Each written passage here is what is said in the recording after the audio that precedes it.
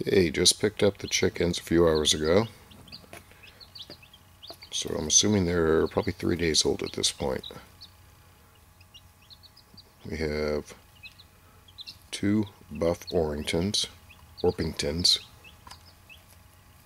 and four Bantams.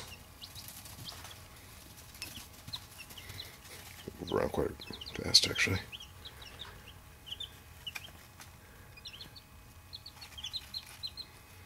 Took them about 20 minutes to find their watering and their food dish.